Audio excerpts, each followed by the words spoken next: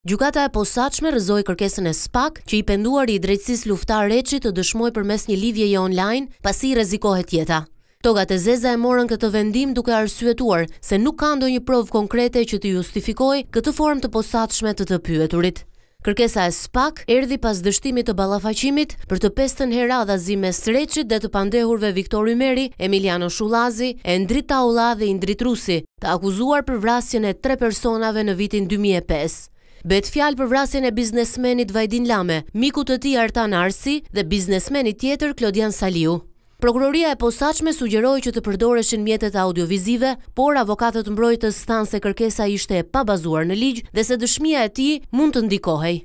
Avokatja e Viktor Ymerajt u shpreh se kjo formë e dhënies së dëshmisë për shtetin shqiptar nënkupton dorëzim, pasi një prokuror i posaçëm nuk mbron dot të penduarin e vet. I të njëjtit mendim ishte edhe avokati i Plauren Dervishajt, që tha se seanca po mbahet gjallë nga një dëshmi e manipuluar, së cilës do t'i humbasë edhe më shumë vërtetësia përmes shmangies fizike të dëshmitarit nga seanca gjyqësore.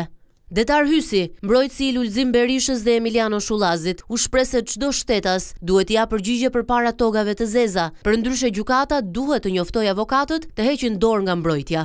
Edhe vetë i pandehuri Emiljano Shullazi kundërshtoi me forcë dëshminë online, me pretendimin se hetuesit do t'i orientonin deklaratat në interes të tyre.